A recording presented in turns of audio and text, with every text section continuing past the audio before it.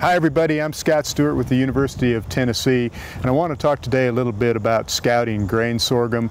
It's become kind of the latest crop that we seem to be, be interested in and insect pests can be a pretty significant threat to grain sorghum. A lot of people grow grain sorghum because they think it's a low management crop and there are some things about it that are low management but insect pests, particularly in late planted milo, uh, do need to be scouted and treated for as needed.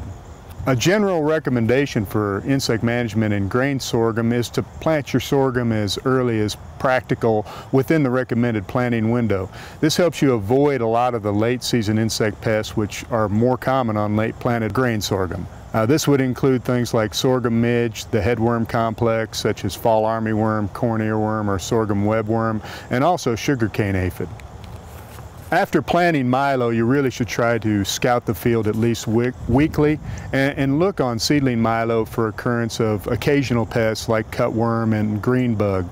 But the reality is that most of the insect pests that seriously affect milo on a consistent basis begin about the time the plant starts heading. And again, this includes things like the headworms, sugarcane aphid, and sorghum midge. Whorl feeding caterpillars are often the first insects that I get phone calls about in the season. Like the name implies, this is caterpillars that feed down in the whorls of the plants. It's almost always going to be fall armyworm, especially in late planted milo. Occasionally, it'll be corn earworm also. What they do is they feed on the plants, cause irregular shaped holes on the leaves. The small larvae will actually cause window pane-like lesions. Uh, we're normally not very concerned about infestations of fall armyworm or corn earworm in the whorls unless they're unusually high populations on small plants, plants say less than 12 inches tall. In that case, they can sometimes cause yield loss and will recommend treatment. Uh, the treatment threshold is when 75 to 100% of the plants are infested. It's not uncommon to see that many plants with feeding injury, but it's pretty uncommon to find 75 or 100 larvae on, on 100 plants. So treatment doesn't happen very often. I do want to take a break and talk a little bit about sorghum growth and development because I'm going to throw some terminology at you that I want everybody to be familiar with. The first thing I want to talk about is the flag leaf. The flag leaf is the leaf immediately below the head and that's the leaf you're, you're seeing here. It'll be important when I talk in a minute about scouting sugarcane aphid. Second thing I'll point out is this is the head of the sorghum plant. It flowers and in fact it flowers from the top down on the plant. After it flowers it begins filling grain. So just so everybody's familiar with the terminology, flag leaf and, and the head. So when we talk about headworms, that implies we're talking about caterpillars feeding in the head.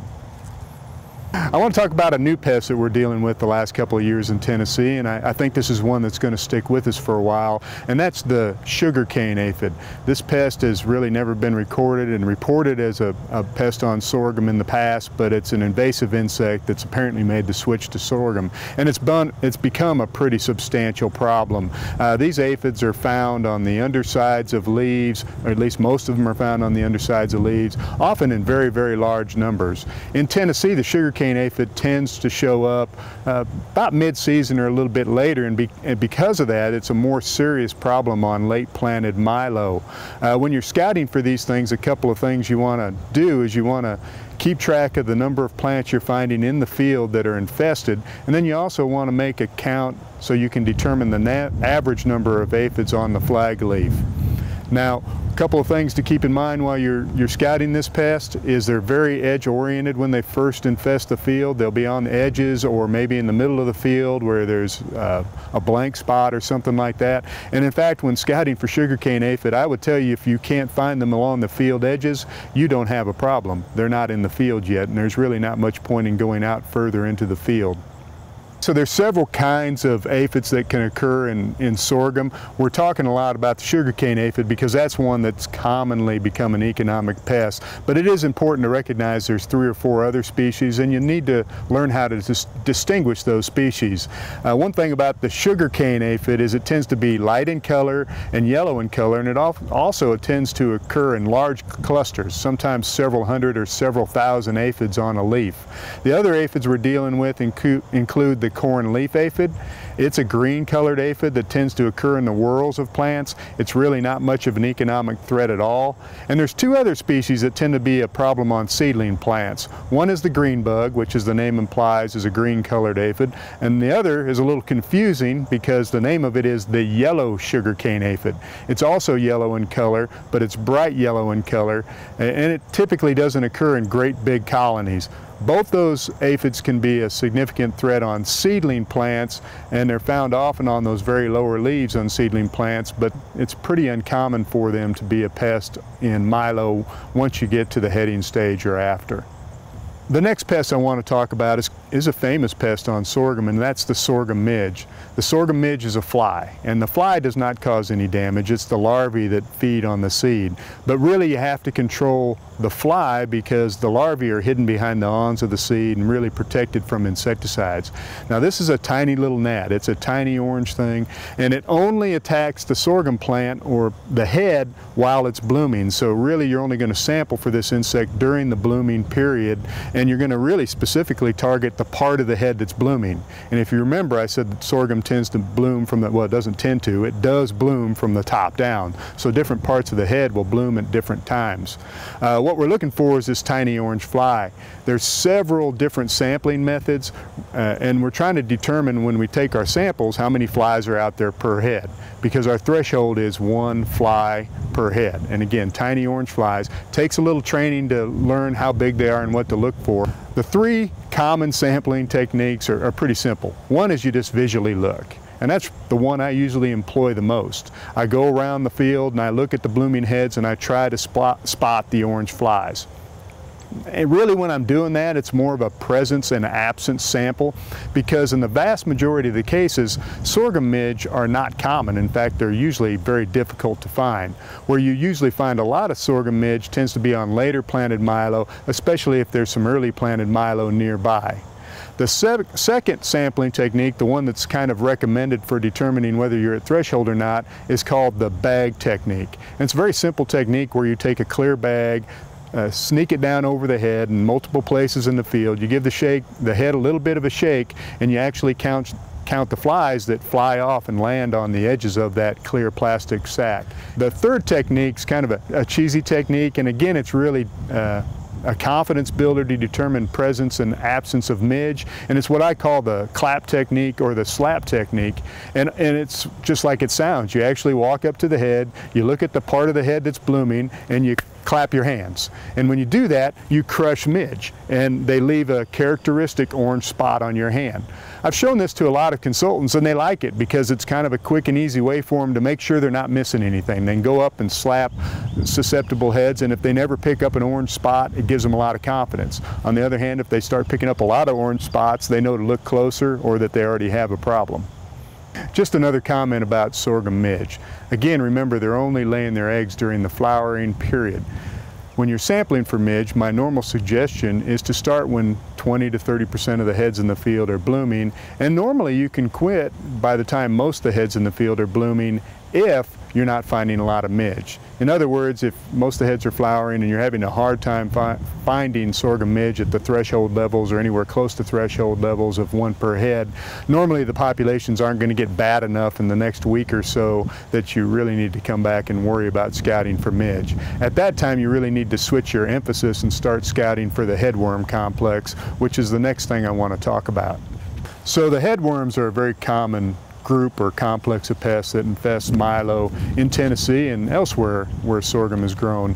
And again, the headworm complex, like many other pests, tends to be much more common and worse in late planted milo. When I say headworms, that's just kind of a a layperson way of grouping a, several different species together and we are talking about either the corn earworm, fall armyworm, and sorghum webworm. Uh, these larvae feed on the grain of the heads they don't all feed necessarily the same. Corn earworm and fall armyworm uh, do similar amount of damage per larvae. The sorghum webworm is quite a bit smaller. It doesn't get very large. It's covered with fine hairs and it does less feeding so it takes more sorghum webworm to cause the same amount of damage as a corn earworm or a fall armyworm. When sampling for headworms, really the time period you're looking at is from early bloom up through the blooming period, plus about another seven or 10 days. So there's really about a two or three week critical window. The moths typically come into the field and begin laying eggs about the times the head, heads emerge and are blooming, and then the larvae develop over the next two or three weeks. Once the uh, blooming period's done, the egg lay typically subsides and, and you don't have near as much problem. The most common sampling methods are to take something like a sweep net or a bucket and actually in random spots in the field check 10 consecutive heads by shaking those heads into the sweep net or into the bucket. And then you have to carefully pick through the, the bottom of the net or the bucket and the debris looking for small and large larvae. Uh, what you're trying to do is of course quantify how many larvae there are per head because our thresholds are based on the number of larvae per head and so you're going to count the number of larvae and the kinds of larvae that are in that net. So if you're sampling 10 heads at one location, typically I'd recommend that you sample at four different spots to get a minimum of 40 heads per field. You don't always have to do that. Sometimes you sample 20 heads and you're five times threshold. Sometimes you sample 20 heads and you haven't found a caterpillar and that lets you know you're well below threshold. So you can adjust your sampling intensity based on what you're finding. Now we'll take a look at the threshold recommendations for these various pests and you need to keep in mind that this may vary by region or even within a state from year to year as we get more information. We recommend treatment for the sorghum midge when we average one fly or more per head. For whorl feeding caterpillars like the fall armyworm or corn earworm, we recommend treatment when 75 to 100% of the plants are infested with larvae.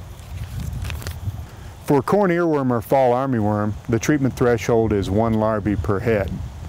For sorghum webworm, the treatment threshold is three to four larvae per head. Our thresholds for sugarcane aphid are being developed and, and formalized now as we get more and more information about this new pest.